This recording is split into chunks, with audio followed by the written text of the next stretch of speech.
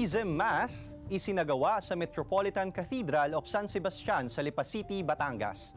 Narito ang report ni Lorenzo Ilagan.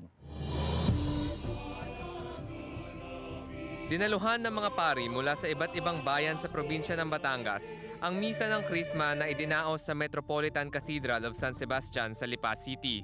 Pinangunahan ni Archbishop Gilbert Garcera ang misa at sa kanyang homilya, binigyang halaga niya ang makasaysayang pagtatalaga ng bansang Russia at Ukraine sa Immaculate Heart of Mary.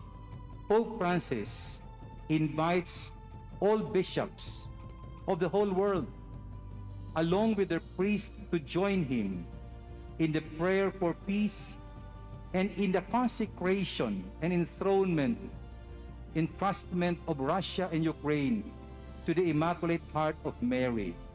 Nagkaisa din ang mga pari sa pagsasariwa ng kanilang mga sinumpaang tungkulin sa harap ng obispo.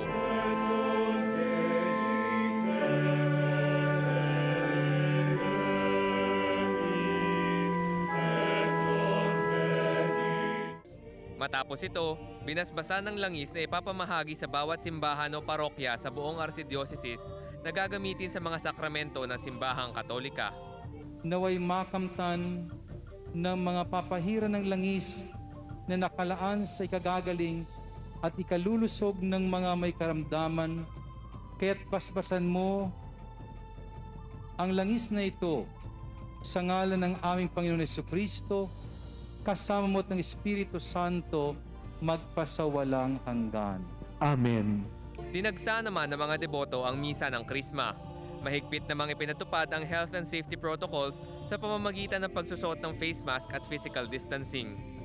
Kasama si Buhay Adante Jr., Lorenzo Ilagan, Balitang Southern Tagalog.